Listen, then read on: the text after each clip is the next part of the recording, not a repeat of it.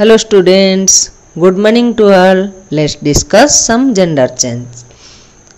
God, goddess, Lord, lady, grandfather, grandmother, father, mother, son, daughter, brother, sister, husband, wife, uncle, aunt, man, woman, king, queen, hunter, huntress, man servant, maid servant, priest, priestess, master, mistress, sir, madam, wizard, witch, host, hostess, nephew, niece, landlord, landlady, actor, actress, headmaster, headmistress, prince, princess, policeman, policewoman, monk, nun, dad, mom, brother-in-law, sister-in-law, father-in-law, mother-in-law, son-in-law, daughter-in-law, chairman,